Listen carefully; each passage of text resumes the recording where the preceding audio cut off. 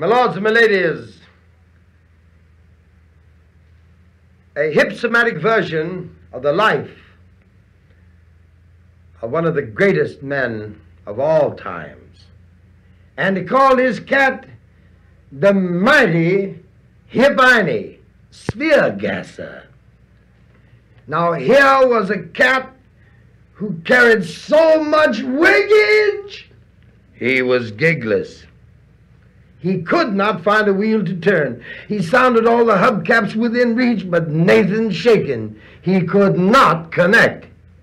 Hungry, his threads thin, it was a drag. Baldy's nowhere cat's not picking up.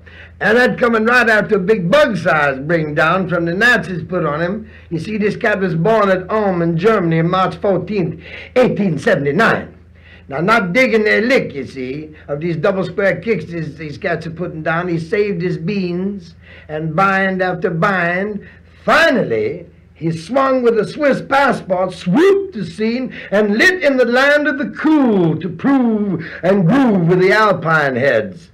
So now he's made it. It's a drag and no gig. Well, he messed around a little bit looking to pick up on a job here and there and so on and so forth, and he finally got on a light boot repair kick. That's the only thing this cat could get to do. It was so light that he was about to dig some boot soup when a buddy cat hipped him that needed to buy a burn in the idea factory. So the hip he took off to sound the man for the gig. Now, it took him 14 hours to convince this cat that he could tell a good idea from a bad one, you see what I mean? And he still would have missed if the cat hadn't heard that he was suffering from the gold shots in front, so he really dug the gig, gig on a pity kick. He was such a sweet, groovy cat, Earth Angel, you see what I mean, that this short green kick cooled his living strain. Now ready, really ready, he looked around and finally zeroed in on a real fly chick. Made the legal move with her, rang the chapel bells of joy, and out in this, come swung out of this beauty spin, uh, came two little Mars heads, a boy and a girl, you see. His pad now jumped with the sweet swinging light of life he delegated his routine job dues to the third frame of his subconscious mind and proceeded to lay back into the longest goof in the history of that far out wig stretch. He became the king of all spaceheads. He goofed through the zonosphere and the voutosphere and the routosphere and the hipposphere and the flipposphere and the zipposphere and the gonosphere and the way gonosphere. He was way on out there. And as a matter of fact, he was gone so long and was so far out that when he returned and cooled and dug what he brought back with him, he flipped Shook the poor cat so bad he couldn't leave his pad for two weeks. Take that scene. And sat in the sack every lick at a time. It was not only too much for him, it was too much for the sphere. This we will dig later. Well, being a tough cat in front, he was soon on his feet. He sucked up a little juice, you see what I mean, took his pen in hand and got it down on paper. Now, this here paper that I'm going to hip you about caused Max Born, a top flight physicist cat, some time later to state the greatest gasser of all spearhead book is Let Me Hip You, Volume 17, Series 4, Yearbook of Physics, 1 1900 and jump in 5. When this book hit the streets, it hit the spacehead cats hard. No cat mentioned it for four years, and no cat moved for five years more. Here and there, cat would dig a single hole, but it was so far out he couldn't dig anyone in his cat circle to cut it up with, so the cat would be hung, dig?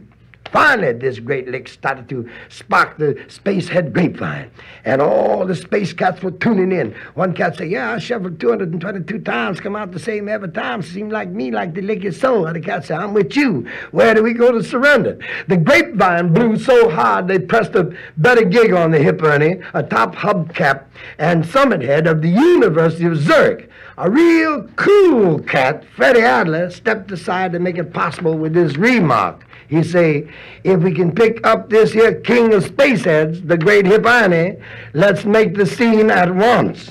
Let this great cat take the chair. I'll make the stool. You see what I mean? He was a real hip cat.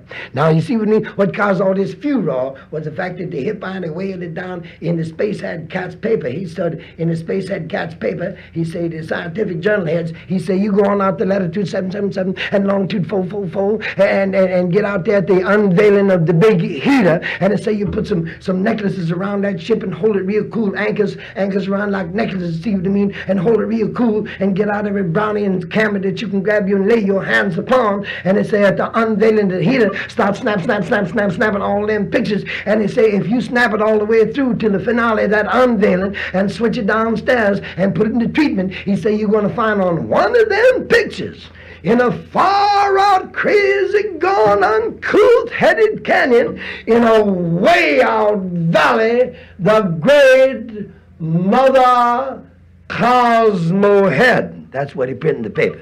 That's what flipped everybody. Everybody flipping all over the place. Cats, I can say, couldn't be so, couldn't be this, couldn't be that.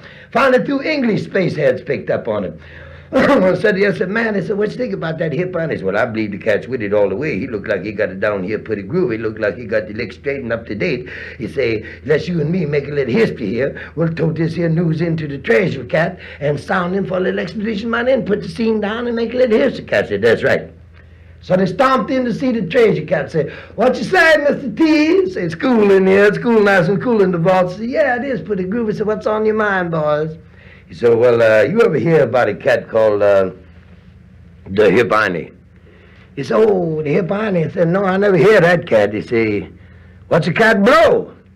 He said, well, he's a scientific spacehead cat, you see what I mean? And he blew a little item in the, in the spacehead journal would say that if we go out to latitude 777 and longitude 444 and we put necklace around the boat with the anchors, you know, and anchor real cool and crazy and get out all them brownie cameras, say, and we start snap, snap, snap, snap, snapping, the unveiling of the heater, he done say that in a far out corner, in an uncouth headed canyon, away up there in the vance will lay the great swinging mother Cosmo Head. The cat said, that's good for the war. He said, that's what I say. That's why we're here. You know what I mean? We figured you dig the lick. He said, of course, that's good for the war. He said, all right, I'm glad you boys come over.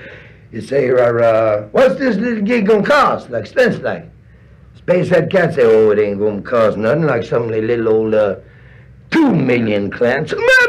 Stomping in here like a madman, jumping up and down, talking clean out of your skull? Tired as things is about two million clams. Is you crazy? Some cat sit down and dream up a big scold and something something. Did the cat see it? He said, no. He said, well, that's what I'm trying to explain. You kept talking completely crazy out of your mind. I said, what's the cat's real name? Said, Albert Einstein. He said, just what I thought. Some far-out Levantine cat going to get you way out on a long, thin limb and snap it off. But you see what happened? The spacehead and the hip on his lick was too strong for Mr. T. So Mr. T come up with the two million clams. So here they swing on out here. They get out to latitude 777 and latitude 444, and they got the expedition all tight and all cool, and they put the anchors around the boat like a necklace, see what I mean? Hold it real cool and steady, and boom, here come the unveiling of the big heater. And these cats are snap, snap, snapping pictures this all over the place. They're snapping it through the legs. They're snapping it upside down. They're snapping it this way. They're snapping it that way. They're snapping it, they're double snapping it. They're snapping it every way there is snap it. You see it right? It was over. Downstairs they go to develop these uh, these negate, negatives, see what I mean, and see where the picture was. So they got 4,424 pictures. And they come down to, uh, said, cat said, you see it yet? Said, no, I ain't seen it yet, but the show got some crazy jazz. They picked up on some wild pictures, some pretty wild pictures. And they go to 2,227, you see it yet? Said, no, I didn't dig it yet. No, I haven't seen it, but I know it's here someplace. Said, that's what I believe too. And get to 3,227 pictures. Man, it's a long time coming. But he said, yeah, I know that, but just show some crazy shots. Let's keep going. So they get to 4,109. You see what I mean? When the cat said it, said, well, looked like the iron, they put us on a bad riff here. Say, if the cat, you know, made a little miscalculation. He said, well, we're going this far, might as well go to rest. And on the last picture, the last picture that done developed in a great big crazy far out corner in an uncouth headed chasm was the longest neon tube these cats ever dug in their life. The great Cosmo-headed swinger. And that's how it jumped. But like the hip artists say, let's play it cool and let's play it sweet and let's keep thinking right and we're going to be with it a long time.